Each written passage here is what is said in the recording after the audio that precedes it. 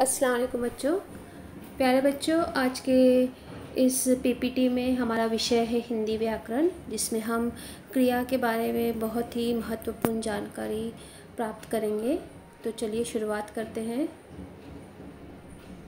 यहाँ पर इस पीपीटी में आपको कुछ आगे चित्र दिखाए जाएँगे और उन चित्रों को देखकर क्रिया युक्त शब्दों से आपको वाक्य बनाना है। ठीक है? चलिए। तो पहला चित्र आपको दिखाई दे रहा है तो उसमें आपको क्या दिखाई दे रहा है कि एक लड़की क्या कर रही है, सेब खा रही है। तो अगर हम क्रिया युक्त शब्द वाक्य से बनाए तो क्या बनता है कि तारा सेब खा रही है। यानी यहाँ पे क्रिया क्या हो रही है? खाने की, काम। क्रिया का मतलब होता है काम। तो काम क्या हो रहा है? खा रही है। दूसरा वाक्य है, चित्र आपको दिखाई दे रहा है जिसमें बच्चे क्या कर रहे हैं, हंस रहे हैं ना? तो यहाँ पर वाक्य क्रिया युक्त शब्द से वाक्य क्या बनता है? बच्चे हंस रहे हैं, क्योंकि यहाँ पे क्रिया हंसने की क्रिया हो रही है। इस वाक, इस चित्र में आपको क्या दिखाई दे रहा है कि एक माँ जो है वो बच्चे को सुला रही है। तो यहाँ पर सुलाने की क्रिया हो रही है तो इसलिए वाक्य कैसे बनेगा? माँ राजू को सुला रही है।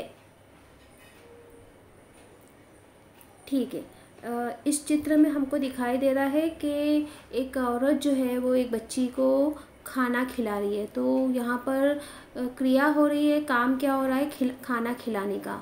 तो इससे वाक्य क्या बनता है?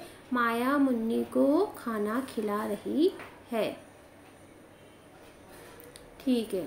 इस बार चित्र से क्या दिखाई दे रहा है? चित्र में आपको कि एक लड़का है वो खाना खा रहा है। तो यहाँ पे खाना खाने की क्रिया हो रही है। तो क्रिया युक्त शब्द से फिर वाक्य क्या बनता है? अहमद खाना खा रहा है। ठीक है, यहाँ पे एक अलमारी है जिसमें खिलौने रखे हुए हैं। तो वाक्य क्या बनता है? अलमारी में खिलौने सजे हैं। तो बच्चों, हमने जो अभी वाक्य देखे, उनसे हमें क्या समझ में आता है कि जिन शब्दों से किसी क्रिया, किसी कार्य का करना या होना व्यक्त हो, उन्हें क्रिया कहते हैं। यानी ऐसे शब्द जो हमें किसी के कोई काम करने या होने की जानकारी देते हैं मालूम देते हैं, उसे क्रिया कहते हैं। जैसे शब्द है रोया, खा रहा है, जाएगा, आदि। उदाहरण स्वरूप अगर एक वाक्य ये है कि मैंने खाना खाया तो देखा जाए तो इसमें क्रिया खाया जो शब्द है, वो क्रिया का शब्द है। क्योंकि यहाँ पे इस वाक्य में काम क्या हो रहा है? खाना खाने का। तो खाया शब्द क्या है? क्रिया है।